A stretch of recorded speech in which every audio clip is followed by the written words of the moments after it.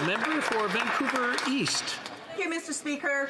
The Liberals have been promising pharmacare for 23 years. Yeah. People end up in ER or hospitalized because they can't afford their medication, and hundreds die prematurely every year.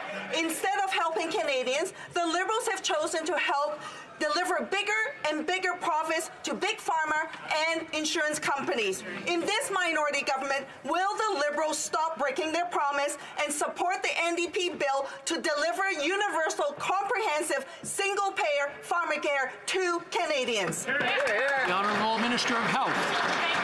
She's apparently confident if this liberal government had been here 24 years ago, we would have been there already. And I'm very excited to be part of a government that is committed to making sure that people don't have to choose between medication and food.